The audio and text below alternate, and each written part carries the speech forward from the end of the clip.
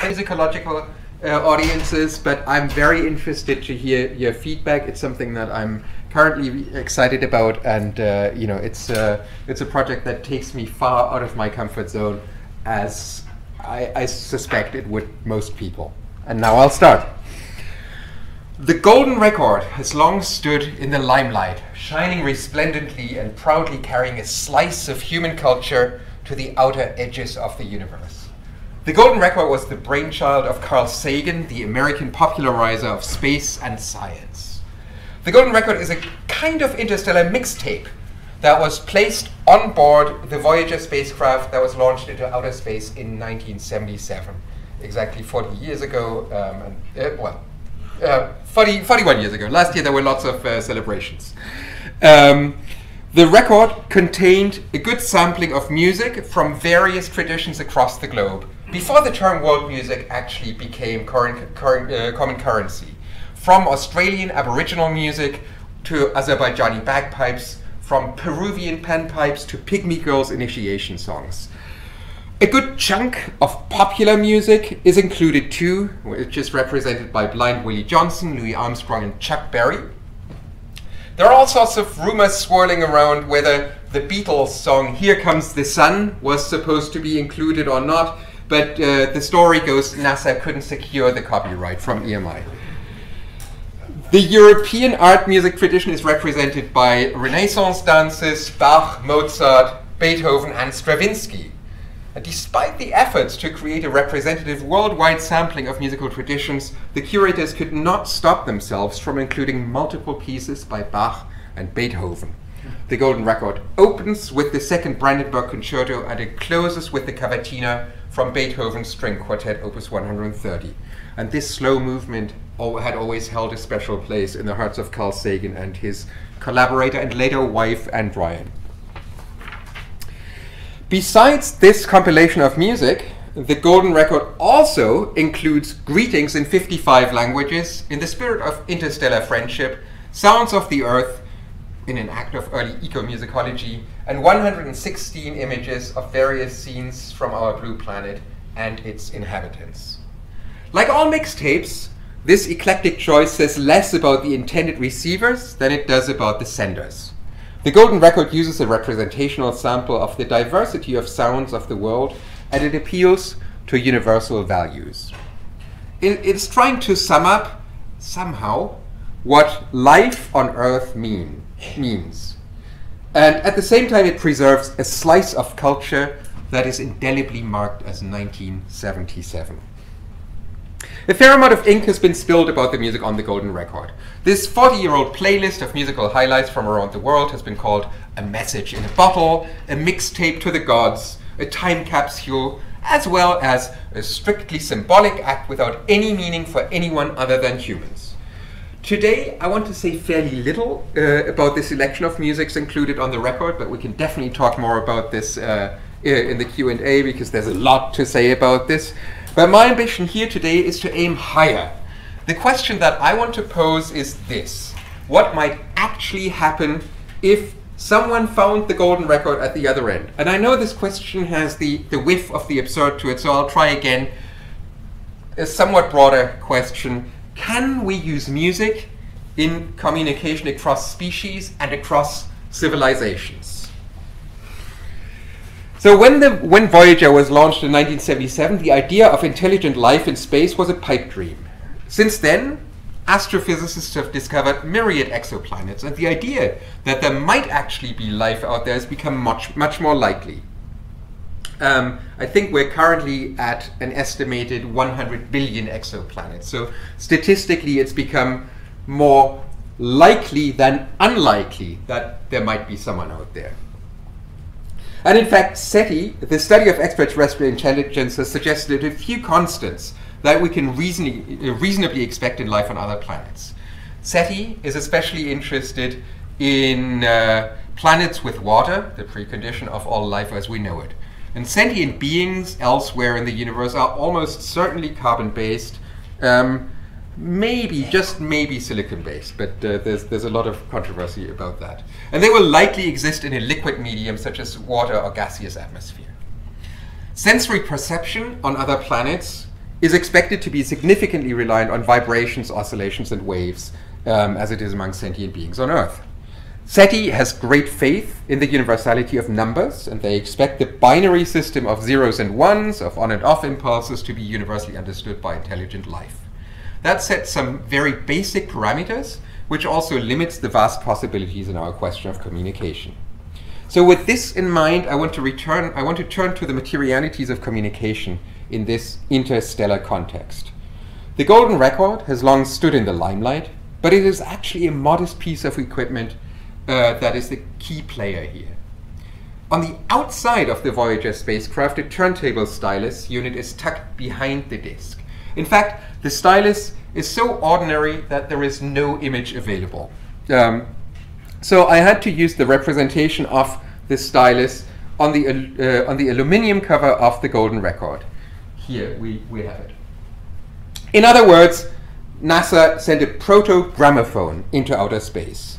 Without the stylus unit, the Golden Record would be nothing but a gilded circle with a wiggly line etched into each side, fitted with an enigmatic metal sheet of non-verbal explanations, which we can see here. So this image is often taken to be the Golden Record itself, but it's actually just the cover. Um, it does require a good amount of detective work to decipher the wordless instruction manual. NASA clearly assumed that the aliens who would potentially find the Golden Record possessed detailed knowledge of physics and chemistry. They need to understand, for instance, that the two circles um, each marked with a dash in the center and another dash on the perimeter and linked by a short line represent a hydrogen bond, with a single electron circling a single proton in each half of the molecule. Our smart aliens must then be aware of the spin of proton and electron and the time it takes to change from one energy level into another. This extremely short duration, this is an extremely short duration, but it has the distinct advantage of being highly stable and reliable in all parts of the universe. This unit of time is then applied elsewhere as the basic interstellar unit of time. And you can see it, you can see the binary code everywhere. These are multiplications of, of the basic unit. Um, the numbers are always given in binary code marked as dashes and lines. To be fair, it's not unreasonable to assume if an interstellar message, message were found on another planet that this alien society would provide considerable resources towards the decoding. Um, I, and I imagine that any team of heroic intergalactic musicologists who try to decipher the golden record would probably receive assistance from a team of menial rocket scientists. and here is where the stylus comes in. Without it, our potential alien might think the record was just a round and shiny yellow ornament, decorated with mysterious elaborate circular etchings, or an unusually crunchy cookie this stylus allows the wiggly runes of the gramophone to be read, and in this way to channel any further communication. It's worth remembering, particularly fr from our mostly digital perspective 40 years later, that the choice of a gramophone record was far from obvious. Even back in 1977, gramophone recordings were already the stuff of yesteryear. The state of the art recording technology was magnetic tape. Why then did NASA revert to older technology, because the gramophone record was more durable and simpler than magnetic tape, especially when, when strung to the outside of a spaceship exposed to radiation at extreme temperatures, the magnetized tape would, would have suffered and decayed. The simpler materiality of the disc won the day. It was a happy coincidence that the year uh, also marked the centenary of Edison's invention of the gramophone in 1877. Attached to the spacecraft, right underneath the golden record, the playback device would enable aliens to reconvert the revolving slopes of the re record groove into sounding data. The gramophone technology for the golden record was modified in only one respect. To maximize the playing time, the recording was modified and the recording speed was slowed down to 16 two thirds. That is half the standard speed of, uh, of the common LP format with its 33 and one third um, rotations per minute. In this way, the recording time was doubled while the loss of fidelity was deemed within a bearable range. Of course, all these calculations were based on human auditory standards, and it's hard to imagine any other standards that NASA could have used in this regard. But this leads us back precisely to the question that I want to ask 40 years on. what would actually happen if the mixtape, that intergalactic message in a bottle on its way through outer space, reached intelligent life, an extraterrestrial uh, uh, who managed to decipher the instructions and got the record to play? What might we expect to happen at the other ear? Uh, at the other end, what does listening actually mean in this interstellar context? There's a straightforward answer. We simply don't know. The possibilities are endless. For all we know, the extraterrestrials who find the, the record might have the brain the size of a planet like Marvin the, the paranoid android, or three ears the size of a Brussels sprout. Who knows what that means for his listening habits and musical tastes? But that doesn't mean we have to throw our hands up in the air. What we can do is to examine uh, the material traces and to extract meaning from the elements that NASA has given us, with the view to getting, getting closer to a sense of what listening in this extreme situation might mean. Put differently, what does the technology offer in, a, in the way of aiding and channeling communication in this trans-species and interstellar context? From this perspective, the inclusion of the stylus is very significant a device that transduces the movement of the gramophone needle as it moves along the groove and feels the divergences of the line etched into the record into electromagnetic energy. But just as significant is the fact that Voyager does not include amplifier and speakers, devices that turn the electromagnetic waves into sound output. We can best imagine the work of the Golden Record as involved in a series of interfaces that pass on information, and in this case, music, across shared boundaries, each of which requires a transformation, a new kind of mapping of the data. So let's plot this out. if we begin, as we typically do, with musicians producing sounds, which are then recorded and engraved in the LP, we get the first part of our graph, covering the essential stations of the recording process. But going beyond that, the reproduction cycle here on Earth typically covers reading, sounding, and listening. The stylus initiates the reproduction, but what comes afterwards remains unspecified. The interface with alien ears remains a blank. The missing link in the chain from gramophone groove to musical listening can be seen as a metaphor for the dazzling range of possibilities that alien listening entails. The furthest interface Voyager can determine is the stylus that allows the grooves of the gramophone record to be turned into vibrations.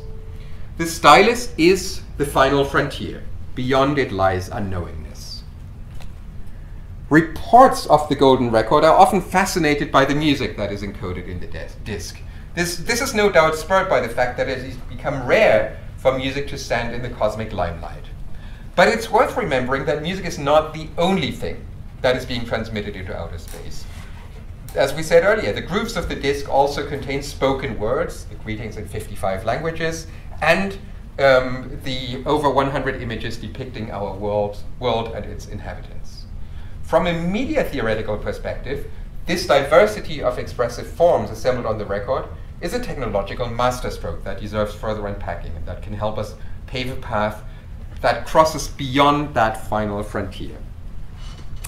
So, the media theorist Friedrich Kittler has reminded us that gramophone records constitute a form of writing a form of notation, though it's not one that's read with human eyes in the manner of a regular script that turns characters into words and sentences with specific meanings, or into melodies or and chords in the case of music.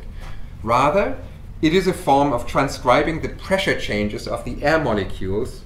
Uh, it's a form of writing that leaves a trace of the sound wave in the material of the record, faithfully transcribing the pressure changes of the air molecules that we register as sound. Like writing, recordings enable the three essential functions that characterize all technical, technical media recording, storing, and transmitting data. What is special about this sonic writing is, is, is that it's legible to the touch of the stylus. The gramophone form, forms one third of the technologies that make up what Kittler calls the discourse network circa 1900. And simplifying somewhat, we can think of discourse network as the media structures by which we make sense of the world. For Kittler, the situation circa 1900 was determined by a division of writing down systems into medium-specific technologies, gramophone, film, typewriter. And as some of you may know, this is also the title of his groundbreaking book from 1986. Each of the three technologies specializes in one medium of communication sound, image, word and each is specialized in one mode of uh, making sense of the world listening, looking, and reading.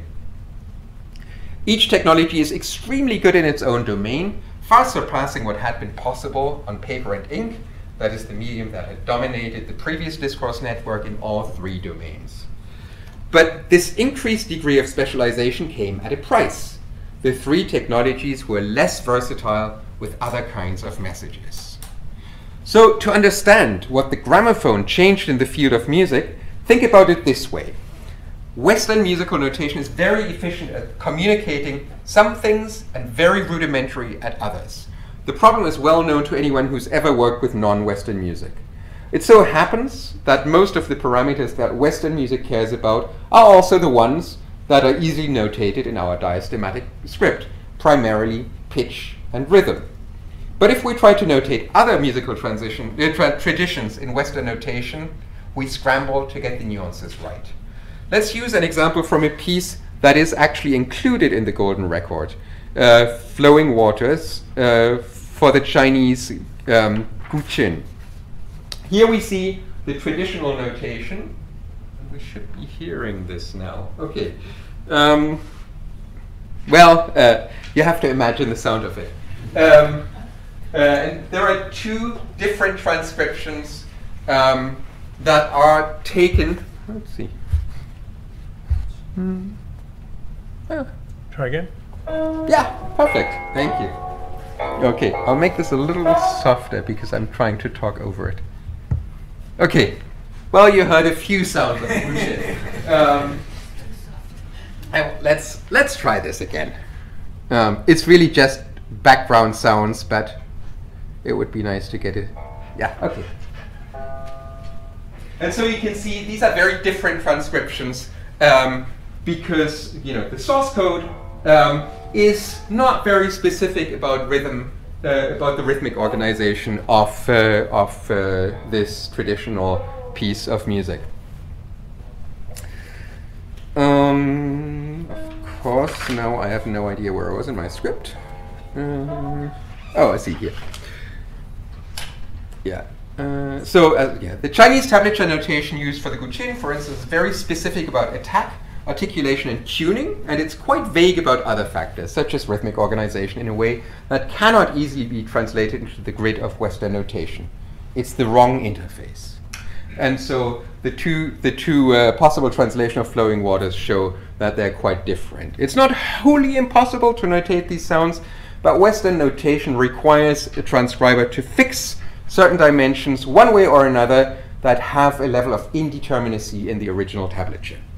And famously, the philosopher Jean Jacques Rousseau in the 18th century was very aware of how notation constrained our understanding of music.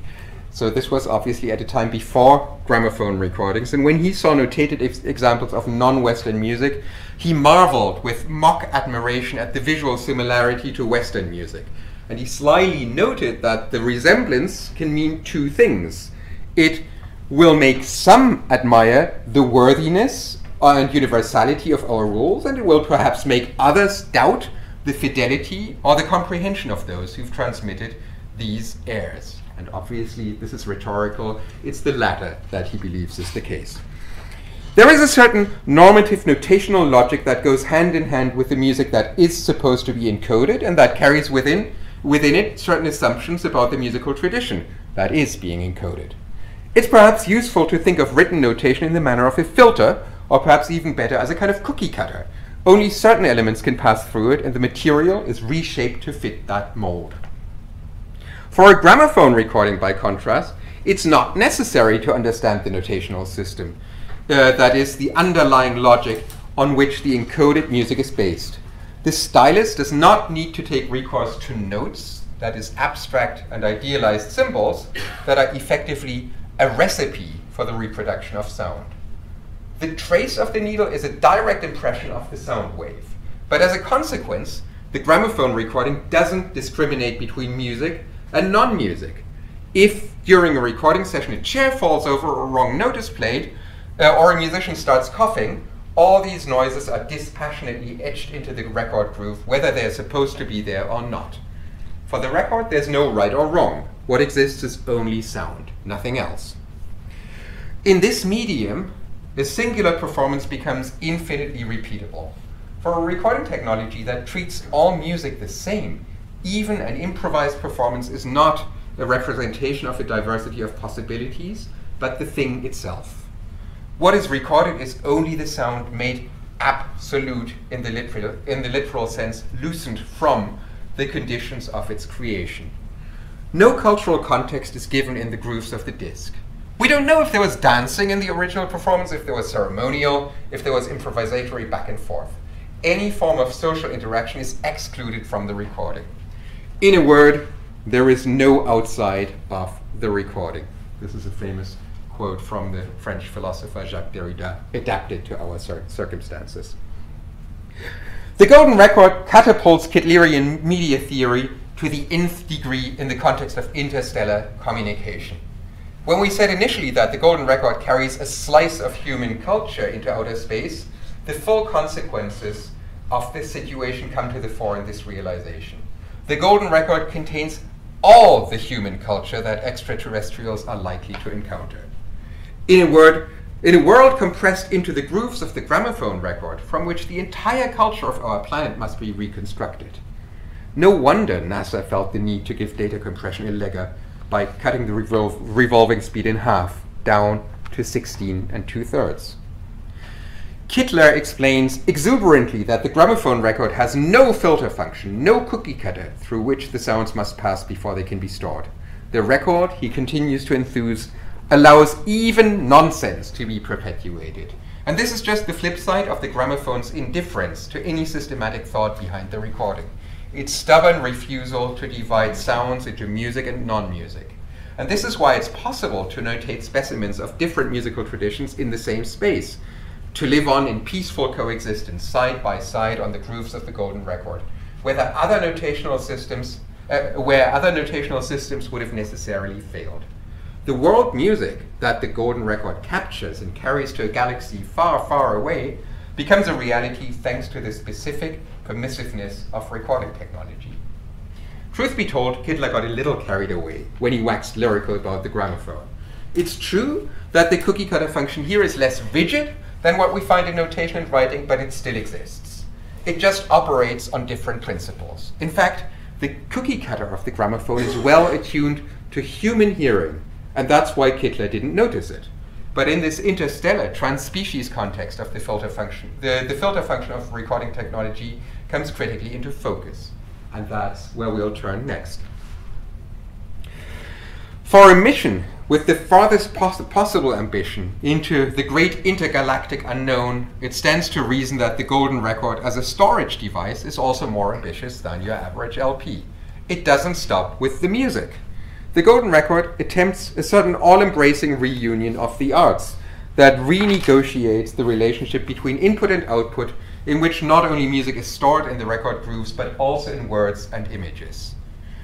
Words have the least distinctive identity in the Golden Record. They exist as voice recordings in the parade of greetings to potential alien listeners, according to the customs and in the languages of our earthly cultures, as images of printed text notably in the address of the American President Jimmy Carter, contributed to the mission, who preferred typescript for his speech over the spoken word. For all their usefulness on earth, words and languages are perhaps the most limited form of expression in this broadest, boundless context. The most charming of the greetings in Southern Min dialect spoken in the Fujian province in southeast China illustrates this problem well. Oh, here we have the address by Jimmy Carter. Um, but the Chinese uh, greeting goes, Friends of space, how are you all? Have you eaten yet? Come visit us if you have time. It hardly bears mentioning that languages are a repository of cultural assumptions. What literally means, have you eaten yet, or have you eaten your fill, has come to signify, hello, how are you? This kind of, and the correct answer, I, I'm told, is, yes, I have eaten, thank you very much. The kind concern makes intuitive sense to Earth dwellers with their need for regular food intake, an experience we all share. But the extra step, the required uh, intellectual transference that humans habitually make, the carrying across that all metaphors demand, might not mean much to other extraterrestrial cultures, even if they were to succeed in cutting through the linguistic complexities on the sole basis of this short example. Clearly, there's no shortage of optimistic assumptions being made here. Even if we ignore the improbability that extraterrestrials will understand human languages, or that they would be able to reconstruct them on the basis of this of the very short snippets of speech included in the record, or indeed that they will be able to decipher the Latin alphabet in which Carter's address was typed, it's still something of a stretch to believe that extraterrestrials will actually be able to hear our messages. We should not take words too literally here. The verbal aspects of the message sent into outer space are by far the most symbolic aspect of the Golden Record. And this is perfectly summarized by Carl Sagan's stealthy inscription, which he etched by hand in the center of the Golden Record to the maker of makers of music, all worlds, all times. This all embracing greeting is a classic performative contradiction. It will only be intelligible to English speaking humans. So, with their extreme limitations, words don't occupy much of a separate domain in the Golden Record, but they spill into the sonic and into the visual spheres. One noteworthy visual image included is a page from the score of Beethoven's Cavatina Opus 30, uh, 130, complete with the picture of a tiny violin, the solo instrument of this movement. This piece of notation is the musical equivalent of the president's speech in typescript. The visual mode of ex expression deserves some attention here. How exactly do you encode images on a gramophone recording? Even though we expect to hear sounds when we put a gramophone on the turntable, there is absolutely no necessity for sounds to be the ultimate purpose of a record. Data is unspecific in the first place. Think of the sequences of zeros and ones of electromagnetic charges that make up computer code in a way that is legible for a CPU, and for virtually no one else. This is the reason cassette tapes of the 1980s could be used not only for recording music, but also for storing computer programs on the early generations of home computers. NASA decided, not unreasonably, that the logic of binary code ought to be intelligible to exoplanetary life. And the binary principle can also be used on gramophone records as a storage device for a sonified data stream. In fact, the B side of the golden record is reserved for this other kind of music, if we want to call it that. The B side includes encoded pixelated images, most of them in color and some of them in black and white. Um, a test image is given in the instructions, and I've pulled that out from here. A simple circle within a rectangular frame. This serves as the calibration page. It's the first page that's encoded. Um, and another image engraved just above the framed circle on the sheath indicates how the data stream must be mapped across the rectangular matrix from top to bottom and from left to right. The one-dimensional sound wave must be folded, as it were, across the two-dimensional space of the visual matrix. Folded and woven across the space at a constant speed, each dot in the matrix is indicated by a short sound, a click, and each space is a moment of silence. This is the equivalent of the ones and zeros of binary code. The correct image emerges in a 19 by 29 matrix, any other mapping will result in gobbledygook.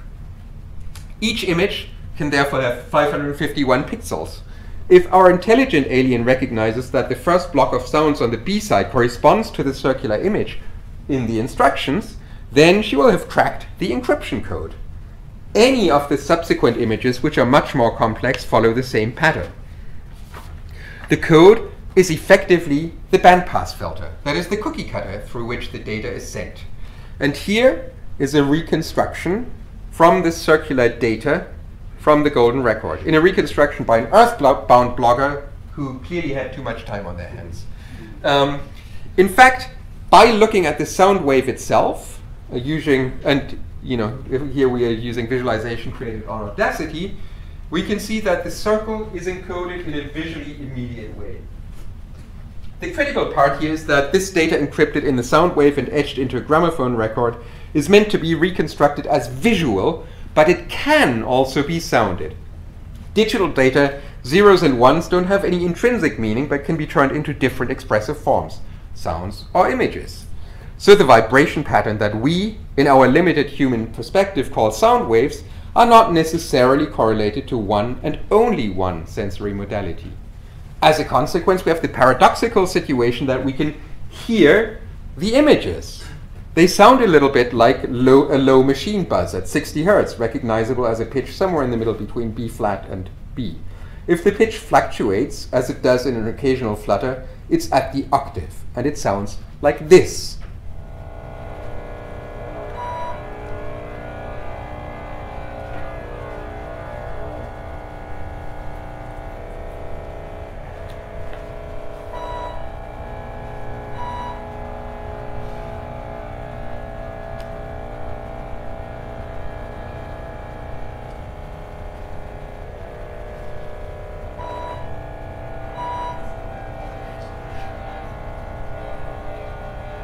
Okay, you get the idea. Every 8 seconds, the continuous hum is punctuated by two test beeps which demarcate beginning and end of the pixel data, 5 octaves higher, around B5. Whatever kind of music this might be, it's certainly not good music. But then again, by what intergalactic standards should we evaluate Earth music anyway? What that means is that there are actually two representations of Beethoven's Cavatina on board of the Voyager spacecraft that are being communicated into outer space. One is the recording that uh, uh, of the sounds of a string quartet, and here we hear it in the background. The other is a recording of an image of the sheet music that we saw earlier. But both can be heard through human ears if we so choose, but they would sound very different. We should adapt our chart of interfaces that we used earlier to understand the realm of possibilities opened up by data conveyed on the golden record. Where we could follow the path from recording to reproduction by means of the stylus, things have become a whole lot more complicated now. If we can sonify visual and auditory artifacts, we have two different routes of passage here that both converge in the gramophone and in the stylus. But the outcome becomes increasingly less specific as far as the sensory domain is concerned. In specifying ears and eyes, in the far right box of my diagram, I'm remaining within human sens uh, sensory modalities. But it's perhaps best to refer to this as perception most broadly conceived. We will get furthest here in this most intergalactic of contexts if we stop thinking about the sounds as music and start thinking of them as data streams. What we find on the two sides of the golden record are two distinct ways of using the data storage function of the gramophone record. The A side treats the medium as analog, and the B side as if it were digital. We as humans hear the clicks on the B side as a kind of music by default, but that's just how our auditory apparatus works. And we simply cannot avoid processing these signals the way we always do. But there's nothing to say that this is what it necessarily is if we know how to read the signals properly, that is, if we decode them by imposing a new kind of grammar, a different cookie cutter or bandpass filter on the sound wave, we can get the gramophone groove to record and reproduce images. It all becomes a matter of finding the best interface. I want to press this point a little further because the strange music on the B side can help us understand better can help us understand better in our global question to figure out what happens when we get beyond the stylus in our chain of interfaces. Why do we actually hear digital data as a buzz? For an answer, we should return to Earth because there are many more examples of this method of creating music, if we can call it that.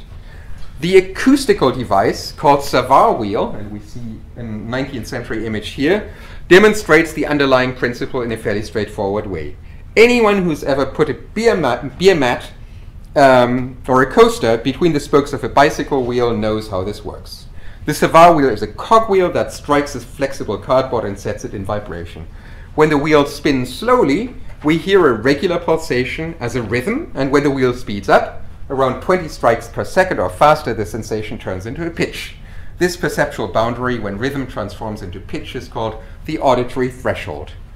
Electronic and tape-based music has long known this effect and has, got, has used it to great effect. the whole genre of, of one-bit music from the first generation of arcade games in the 1970s was based on exactly that effect. Um, and the composer Karlheinz Stockhausen explained the underlying phenomenon quite vividly. I and here I quote him. I recorded individual pulses from an impulse generator and spliced them together in a particular rhythm. Then I made a tape loop of this rhythm. Let's say it is tak tak tak. A very simple rhythm. And then I speed it up. Tarak tak, tarak tak, tarak tak, tarak tak, and so on. After a while, the rhythm becomes continuous, and when I speed it up still more, you begin to hear a low tone rising in pitch. That means this little period, tarak tak, tarak tak, which lasted about a second, is now lasting less than one sixteenth of a second, um, because at a frequency of around 16 cycles per second uh, is the lower limit of the perception of pitch, and a sound vibrating at 16 cycles per second corresponds to a very low fundamental pitch on the organ. End quote. Stockhausen included this effect in his important electronic composition Kontakte, and here we see the graphic score for the piece. And I would have loved it if NASA had had the foresight to include this piece in the Golden Record, but they didn't. Stockhausen famously declared that he was uh, born on Sirius, so that's good enough for me. The way the principle is employed in Kontakte is exactly the other way around from what we saw earlier. We hear a high pitched sound that meanders and slows down, descending in pitch until we finally hear it as a series of clicks. And so um, uh, I'm going to play you the piece in a minute, and after a few seconds in, uh, you should be able to follow this line, um, and then you can see how you can hear how it meanders downwards and gets slower and slower until you start hearing it as a series of individual clicks that then speed up and become slower still. And this is all the same uh, sound source. It's just played at different speeds. So let's hear it.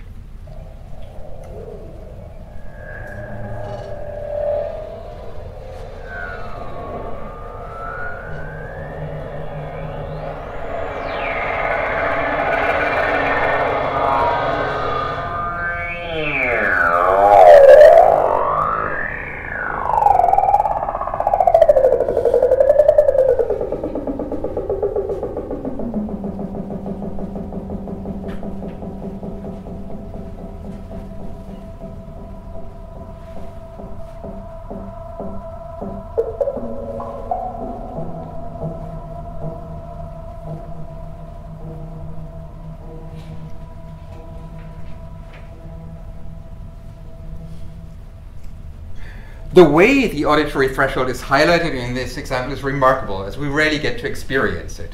We can hear Stockhausen's recorded sound object as a rhythm or as a pitch. The difference is merely one of time scale.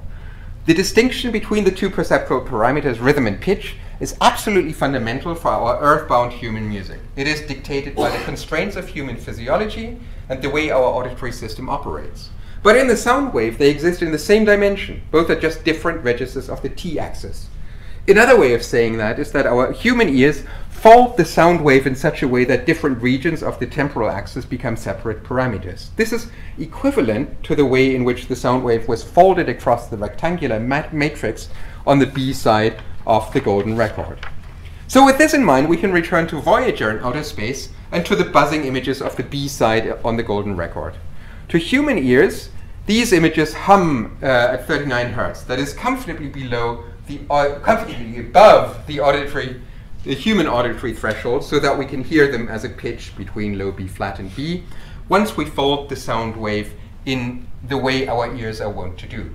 But there are also clicks, like Stockhausen's tarak tak, that may be perceived as different things if different kinds of ears hear them. In other words, if we want to stare into the great unknown that lies beyond the stylus, we have to let go. We have to let go of our certainties about what listening means. The B side of the Golden Record is a great test case because it confronts us with a different kind of cookie cutter to which human ears are insensitive. The same is likely true for the other samples of music on the A side when presented to non human ears. We cannot make any educated guesses what the specific constraints of non human perceptual systems are. The options are wide open. But my advice to let it go, and there's a song in there somewhere, is not tantamount to throwing our hands up in the air. What it means is this To make headway, we have to get more attuned to the way in which these interfaces operate on music. We can get furthest in this interstellar uh, uh, context if we go back to basics. That is, if we try to think of music as data streams, as vibrations. These vibrations must be reconfigured to fit the sensory apparatus of whatever extraterrestrial being might pick up the golden record at the other end.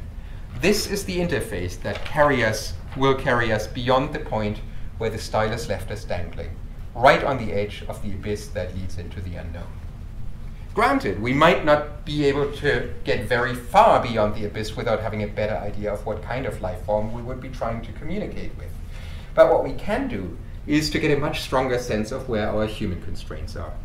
What we need to understand to get further with non human modes of listening is to develop an awareness that the multiple dimensions of our sound world, pitch and rhythm, but also timbre and articulation are all ultimately temporal functions that are stored along the sound wave. Even though we perceive them as discrete parameters, this multidimensional perception of the sound wave is a radical interpretation that our sensory apparatus imposes on the sound wave as one element in our succession of interfaces. Our ears fold the sound wave into a multidimensional construct, just as the golden record instructs the unknown alien to bend the image, uh, the image recordings into 29 lines of equal length. We don't know exactly, um, we don't know where exactly Voyager is taking the golden record and if anyone will ever listen to its recording. But one thing is for sure. If the stylus leaves us at the abyss, the folding of the sound wave in accordance with other filters, cookie cutters, and interfaces will take us across. Thank you.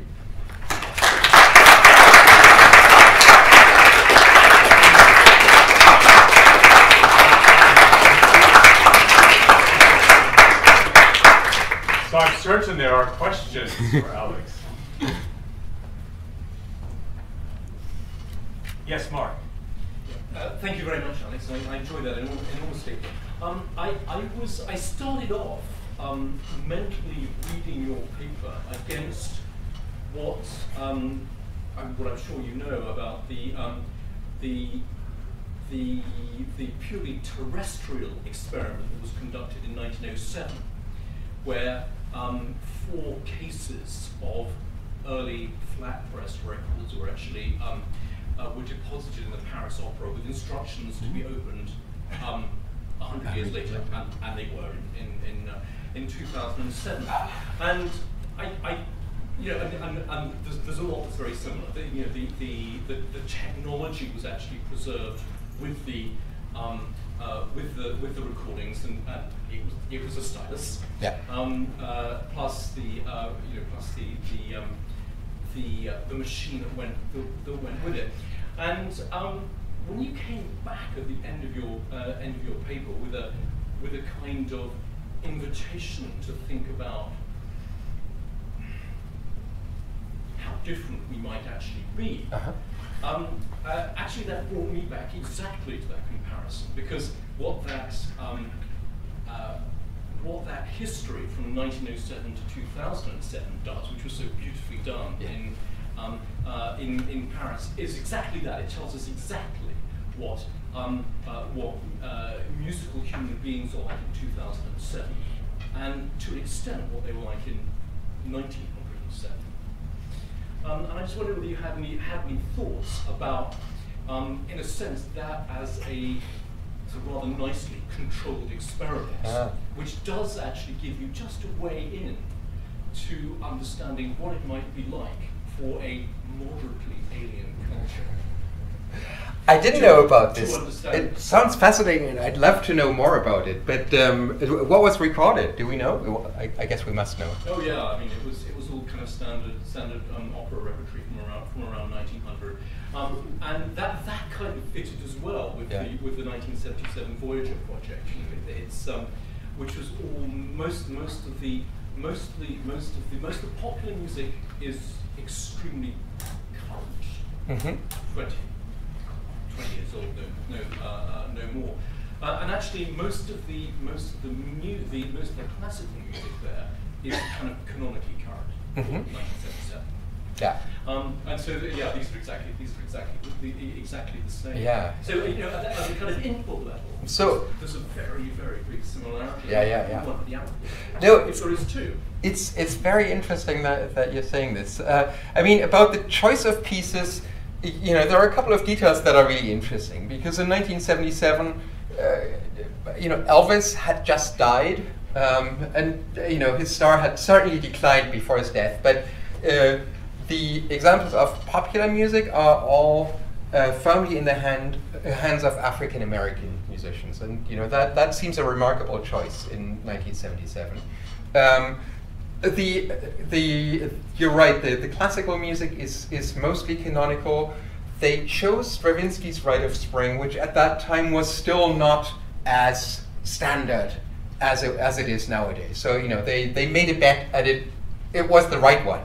Um, but you know that that's probably not a piece that many people would have chosen um, at that time. So the, you know there are there are a couple of elements that are really interesting, um, and you know we- I, I, I'll talk at great length about some of the other choices that they made. But um, the the interesting thing is is is really, as you say, the temporal dimension in this, um, and we are talking about even you know about vast time spans. So um, they've calculated that in forty thousand years, um, Voyager will be fur- further away from the sun than from the nearest other uh, uh, uh, star system, and so it will, you know, the the best possible scenario is that in eighty thousand years someone might find it. So it's it's that it's that temporal dimension that we are dealing with. Um, and you know, quite possibly, uh, it, it, quite possibly, it will take a lot longer. There are two uh, Voyager spacecraft that are on slightly different trajectories, so we have twice the chance of uh, uh, of having the, the golden record picked out. But um, so astrophysicists also tell me that it's quite likely that they will make it unscathed because there's so little uh, in outer space that, that it might collide with. Um, that it's not, you know, you could speculate that Earth itself is going to be hit by an asteroid before the golden records are going to be destroyed. So there is a there is a decent chance that the two golden records might be the only thing that still exists of human culture, um, you know, given given a few more millennia. Um, so, you know, while there is an interest in, in, in, in the spatial dimension and in the communicative dimension, what initially attracted me to this project was precisely the temporal dimension, the, the time capsule aspect of it. And, uh, you know, which, and, you know, I've, I've, I've long been fascinated in monuments, and so this is a kind of monument. It's a, you know, it's, it's, a, it's a future commemoration of human culture. Ben and Matthew. Um, yeah, um, just one. Thank you. It was a great talk. Um, do you know the Aphex Twin track formula? Because at the end of that, there's a sonification of his face, of Richard D. James's face, that you can find if you put the track through a spectrogram. Oh, I see. So I just wonder if there's a potential extension of this, or how you react to that idea of this kind of, of hidden messages, visual messages, messages within um, within within sound, if that makes sense. You wouldn't know unless you were a geek and you wanted to find out. And you know, I did again. I didn't know about that, but yes, you know, the, those those kinds of subliminal messages are, you know, that that's kind of a close comparison. I haven't really looked at them in any specific way, but um, you know, yes, it's uh, you know what's interesting about these attempts. You, you know, I mean, when when when Sagan and his team were trying to work out how best to encode these things, and you with SETI, they always had this game of sending each other encrypted messages just to see if other people would be able to figure it out. Most of the time they couldn't. Um, and in this case, this blogger, w- that was also an experiment where they were trying to see if they could figure out how to decode it, and it didn't work. They needed they needed more explanation than the cover provided. Um, so you know, if you don't figure out that the two circles are a um, are a hydrogen molecule, then you can't figure out anything else. So that's the basis of, of absolutely everything. Um, so you know, I mean, the the whole project has some some real problems. Um, the um, but you know, and, and one of the things that is really fascinating about you know going back to the, the, the, question of you know what does it say about 1977 about the time that uh, in which it was being created it's extremely hopeful. It's you know it is it's quite starry-eyed in a way that you know Carl Sagan was. Um, and of course this is all against the background of the space race of the oil crisis of uh, you know of the near certainty that we would all die a nuclear death in the next few years. Uh, the Global 2000 report had been had been issued a few years earlier, where, which you know uh, pronounced gloom and doom on, uh, on on on the whole planet. So, you know, to do this is partly a kind of cry for help, or you know, you could also see it as as a sign of extreme hope. Um, there is, I mean, I don't know how many science fiction fans we have here, but uh, there is a great recent uh, Chinese science fiction uh, story called The Three Body Problem. I recommend uh, I recommend it to everybody. It's a great read, um, and it's also concerned with uh, with the question of uh, sending out messages to outer space, um, and uh, you know the world is pretty terrible in that in in that story, but it's nowhere near as bad as this other galaxy that picks up um, a human message and that is trying to invade Earth because that planet is more habitable than theirs. Um, and so, you know, sending out a message is not necessarily a good thing. And a lot of people um, uh, were very worried that we are giving away information of where we are.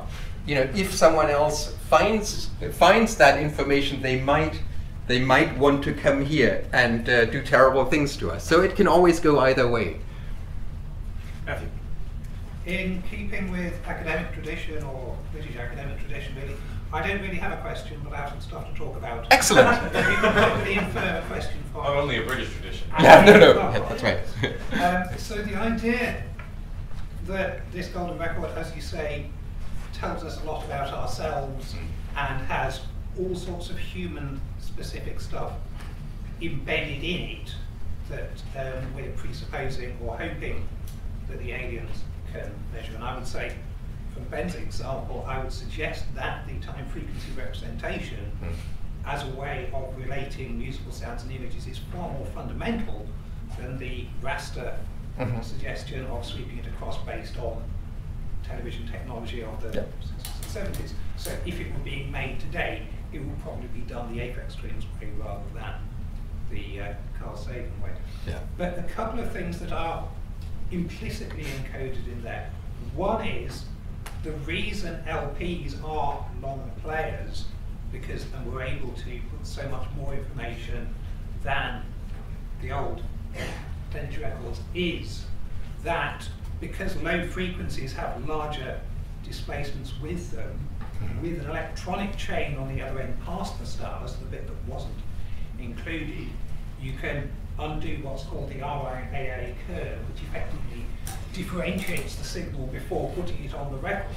Mm -hmm. So the stylus may be enough of a clue to the alien receptors to turn these vibrations into sounds, but it's going to sound awfully tinny yeah. unless there's something, I don't believe there's anything on there to say, and put in a frequency response which effectively integrates it and boosts um, yeah. the bass back up to what we're hearing. it. And the other thing is that the information hidden in the record, similarly in the encoded images and any other visual images, is all based around all our physiological perceptions appear to obey approximations to the Weber-Fechner law, yeah. whereby we perceive things logarithmically.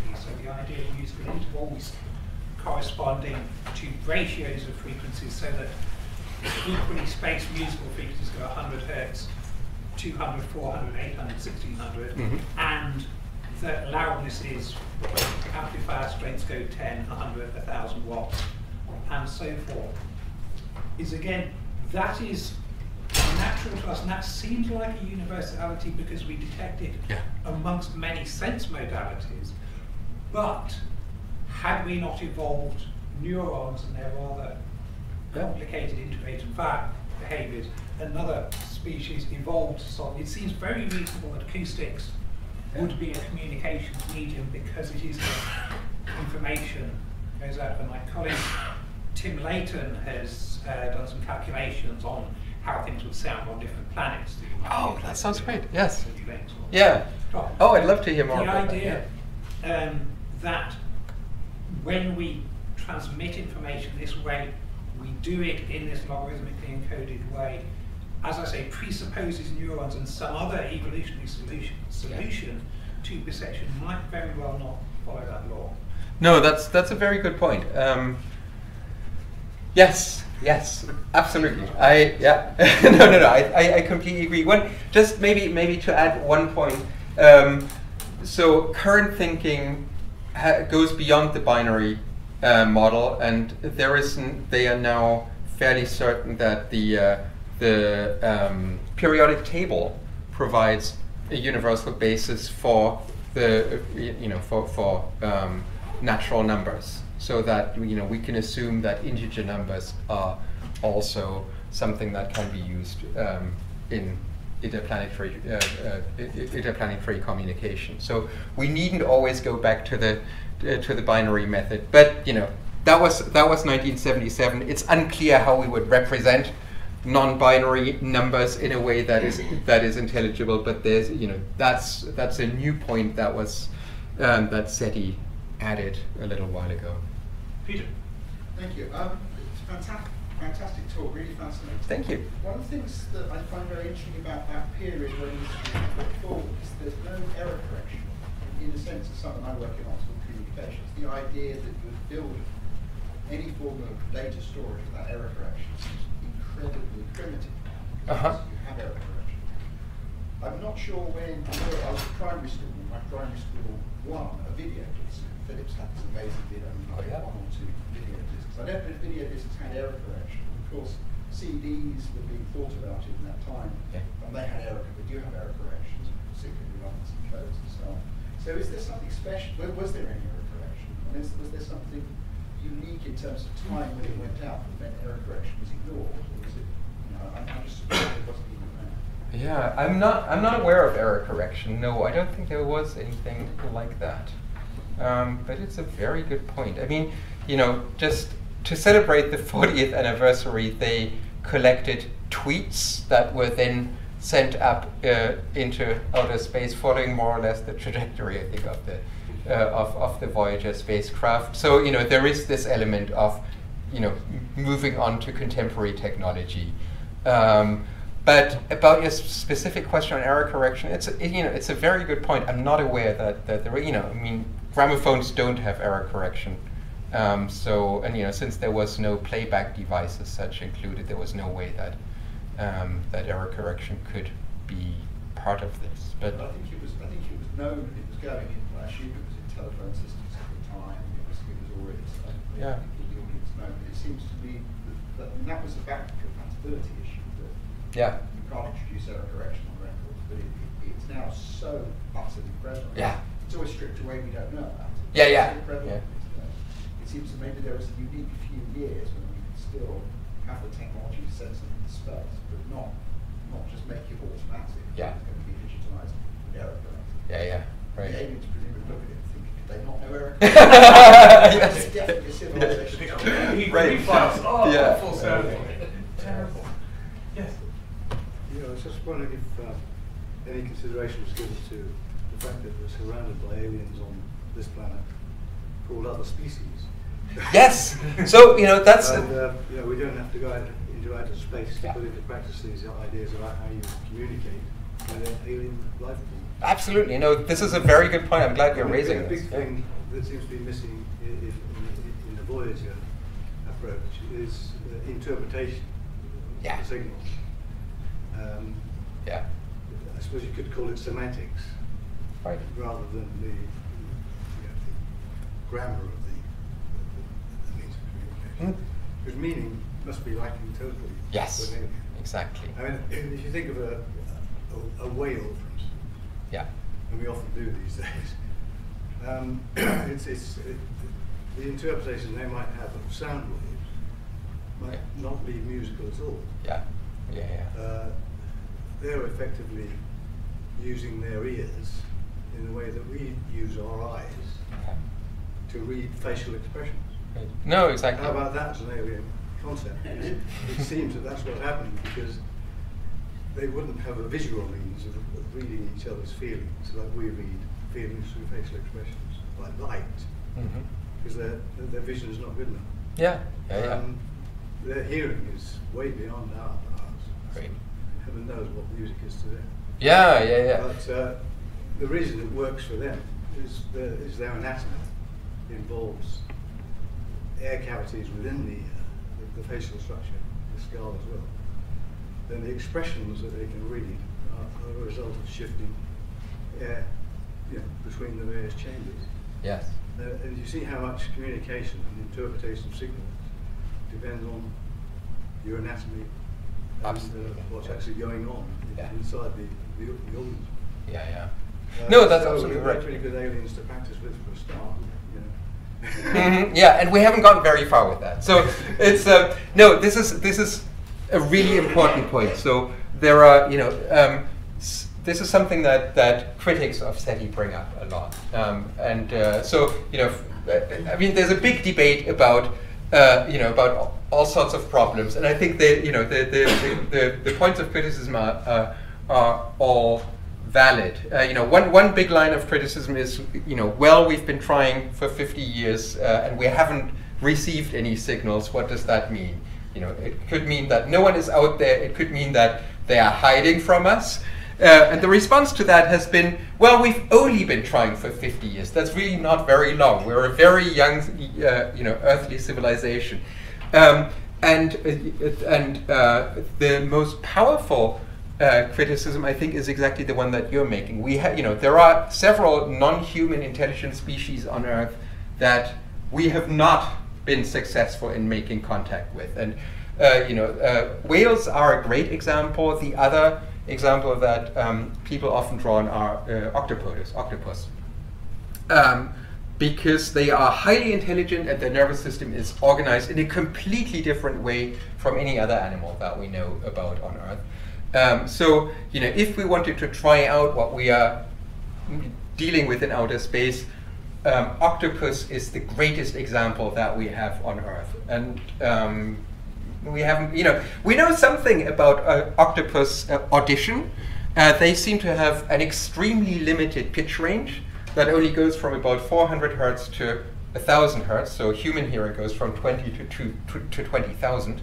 So it's just a very limited range. Um, but if uh, if octopus audition is anything, you know, if the if the principles are are um, somewhat equivalent to humans, then presumably what falls under the auditory threshold, uh, under 400 hertz, will be perceived as rhythm, which means that they have, you know, divine rhythmic perception. Um, so you know that that would be some kind of you know, and it wouldn't be hard to run the music examples through a filter that you know that only allows us to hear the pitch range between 400 uh, and 1000 hertz, which is extremely limited. So you know we could, to a certain extent, pretend to uh, get a sense of what hearing this music as an octopus would be like. Obviously, there's a, a whole lot that we don't know about this, but you know, this is about as good a beginning of trying out something else as anything that we are ever likely to encounter in our lifetime. Another question. Yes, David. Um, a long, long time ago, when I was a teenager, which was about 60 years ago or more, um, I read a book called The Cloud by Fred Hoyle. Huh? And uh, this was a story, a science fiction story. And the cloud was meant to be a very intelligent cloud, which, which, which came to around Earth. And, and cloud is far more intelligent, intelligent than we are. And so uh, they tried to play music. And the piece of music they played was the great Hammerklavier Sonata. And they said, what do you think of this? And uh, Cloud, Cloud said, uh, it's rather slow. Uh, the idea being that the, uh, as, far, as, far as I know, the great hammer player not, not as a metronome marking, which is far too quick for any Yeah. I haven't yet heard of that song, so the, question is, if, if we did find very intelligent, much more intelligent uh, than us, would they really appreciate our music? Would they really appreciate the cavatina? Yeah, yes. Far too slow. So this is another really interesting factor that should be considered, and this this goes back to um, into something that um, a, a 19th century biologist fir- first uh, suggested, um, Karl Ernst von Baer, and he basically he, he gave a famous talk in front of the Russian uh, Society of Entomologists, and his question was, "What's it like to be a fruit fly?" Effectively, and so you know he kind of imagined what the perceptual world of a creature would be that only lived you know, 28 days, more or less. Um, and so he argued, you know, um, his, his assumption was that uh, the metabolic rate would be so much higher that, you know, over the course of the lifespan, this, this uh, fruit fly would have the same number of experiences as a human has in a lifespan of 80 years. Um, and so he, he pointed out that, you know, the, the fruit fly does not live um, longer than a, a, lunar cycle. So the idea that you know there is this thing in in in uh, in the sky that becomes bigger or smaller, but it's impossible to find any rhyme or reason for it. And uh, and so you know, a sunrise and a moonrise would be enormously slow events, and so everything would just happen much much more slowly. And it sounds like the cloud is exactly that kind of thing. Uh, we have time for one more question. Um, I know it's easy in hindsight, in a, like a digital age, to look back at how this was done and think of a better way of doing it. But was there any? Are you aware of any specific choices as to why it was so audio focused? Because it seems like a really convoluted way to get images into space. Where Yeah. There would have been a better way of doing it. It just kind of comes across as being almost like a, a project that an audiophile would do. Yeah, yeah, yeah. You know, that's a good question. So let's see. Uh, There, there was an earlier project in the Pioneer mission um, where they included famously a naked man and a naked woman. You know, the outlines of, and the man raises his hand, and the woman uh, uh, is, you know, posed slightly differently. That caused a huge amount of controversy in America at the time because nudity was being shown, and you know, that's uh, that's just not okay in under no circumstances. And so they moved away from images uh, in, uh, in in the Voyager mission. And I think you know the idea of including a uh, the golden record was a last minute idea. They only had six weeks to put this together. They did it in record time.